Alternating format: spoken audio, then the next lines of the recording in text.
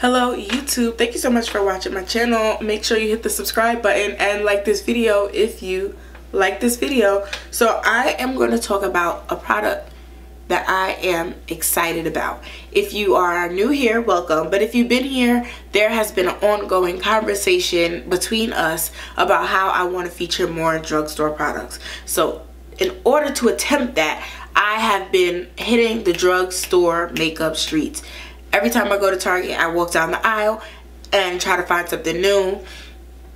Uh, Ulta, I've been in the drug uh, store section trying to see what they have, what I think might work, what I want to feature.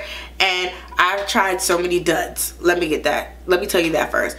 I feel less bad because when it's an $8 dud, then it's like I only wasted a little bit of money.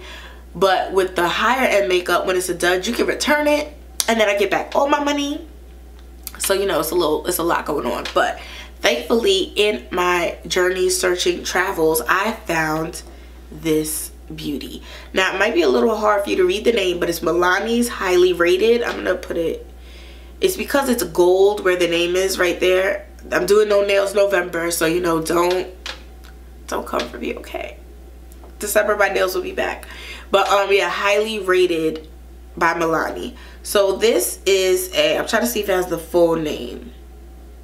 I feel like it's a volumizing mascara. The title of the video will be the real name, but this mascara has changed my life. So basically, because you have to keep re recycling mascaras out of the rotation every eight weeks so you won't get pink eye, I love drugstore mascaras because it's just an affordable way to keep my eye health on point.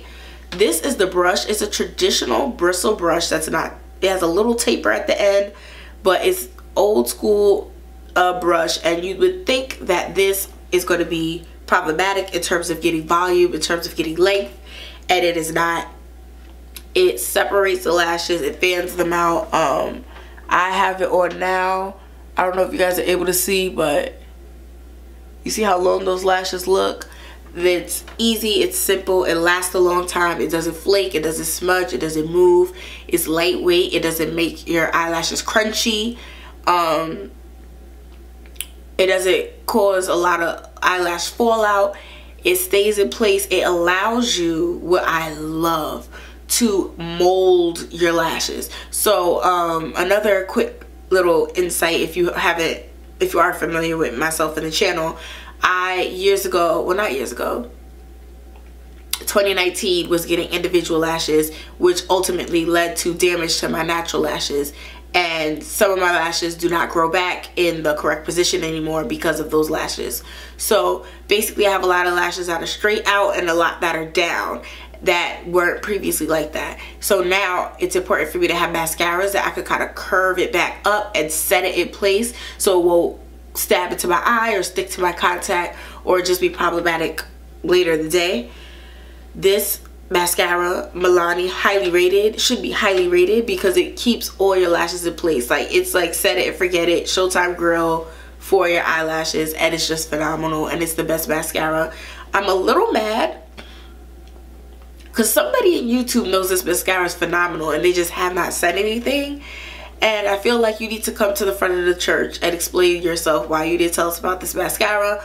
Um, Milani specifically, I'm to start checking for now in the Target uh, beauty supply store, everything streets, because this is really quality. I love their highlighter, but after I got the highlighter, I kind of fell back.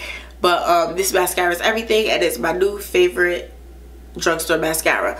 It's Voluminous Lashes from L'Oreal Voluminous Millions Lashes from L'Oreal is still one of my first loves. But this is the new girl on the block. And uh, Milani highly rated. My new favorite drugstore mascara. Who knew? So thank you so much for watching this video. Make sure you subscribe and hit the like button. See you in the next video. Bye.